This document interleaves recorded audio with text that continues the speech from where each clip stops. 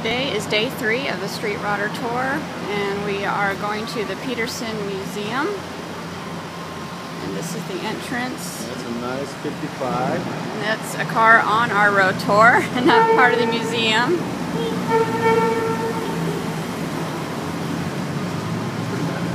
is the entrance to the museum.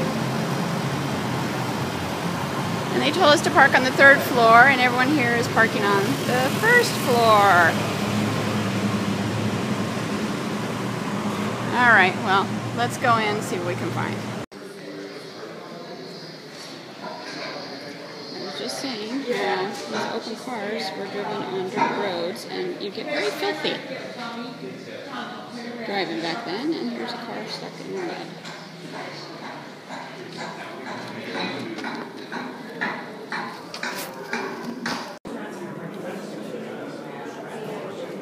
Motorcycle carriage. Old way of doing it.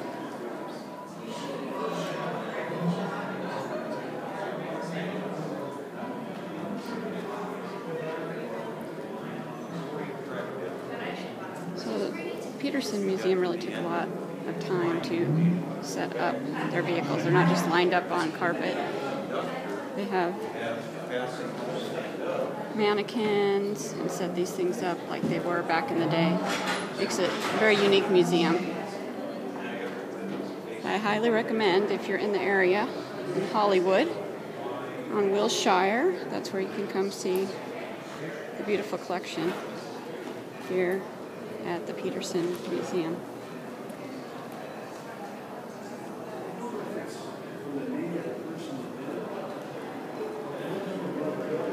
It's 1922 Willys.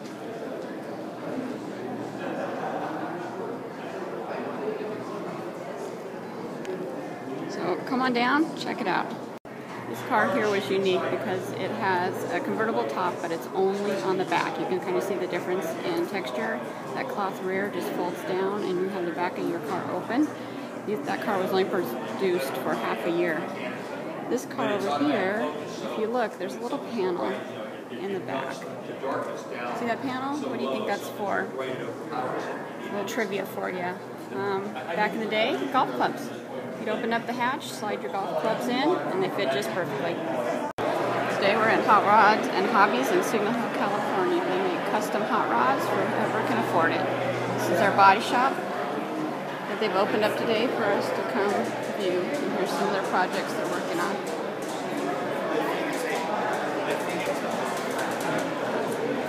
GTO back there.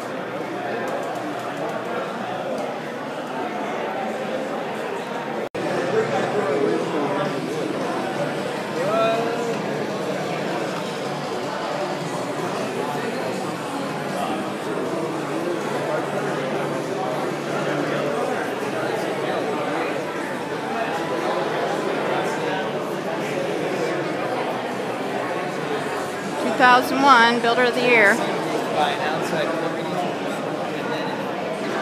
And they were there for 10 years.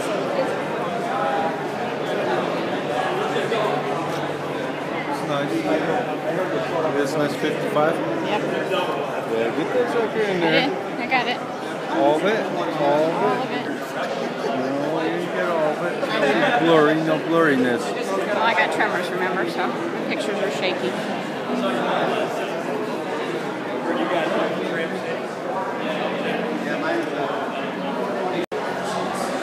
We need a couple of those lifts. a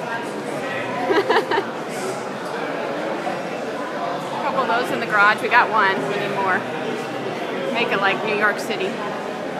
There's some other cars here, some of their projects. Stay there, stay there. I know. Right there. We could have been downtown, Downtown.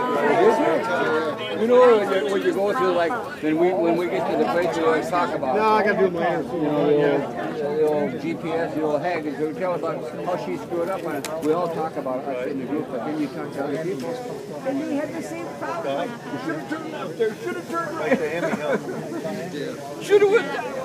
See, Jack, it happens to more than Sure, just us. it does. And you think, well, we're the only ones. No. When we use Windows Well, she damn near had me off on 109th Street walk. Oh, I did the same. Corbin's back hurt, so I told him come sit down on the bench. But do you think he come sit down? No, he went and stood up against the fence. Children. got some feuding going on. Got some good advice though from Scott, the owner. They have apprenticeships, yay, and people get paid for that. So that's what Corbin needs to do after he gets his welding certificate. doesn't say everything. Okay, we're leaving Hot Rods and Hobbies, owned by Scott Banowski. Nice guy. Talked to Corbin. Gave him some helpful hints. Suggest he continues with the welding degree and then apprenticeship somewhere. And you get paid for that. Woohoo! So get Corbin working on his own shop so he can be builder of the year like Scott was last year. There's Corbin.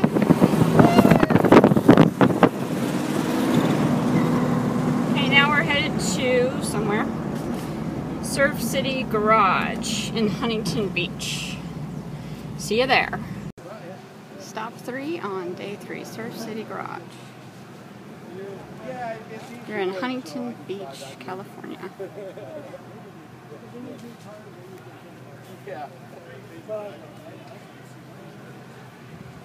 because of the tint, it actually works out. You know, it closer is.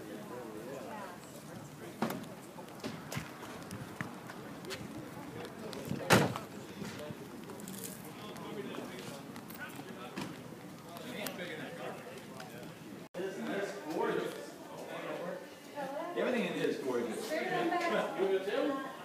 Oh, oh, oh, oh, where's our business friend? That doesn't look like bacon.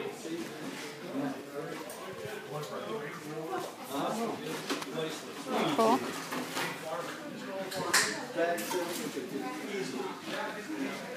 Very cute little garage. How adorable is that with a little cafe? Very cute. This is just gorgeous. This is a private collection run by the family. It's a family business. Surf City Garage.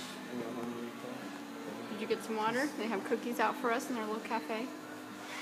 It's a little 30 or? Isn't beautiful? Look at that. All the signs. It's amazing. Insanity, this collection is beyond belief. Looks like he sells car care products, and that's probably how he makes his income. He's got two of these trucks. These are the cars that need to be restored, unlike the ones that are inside that have been restored already. Here's another truck and trailer. This one's just on a dually. But there's some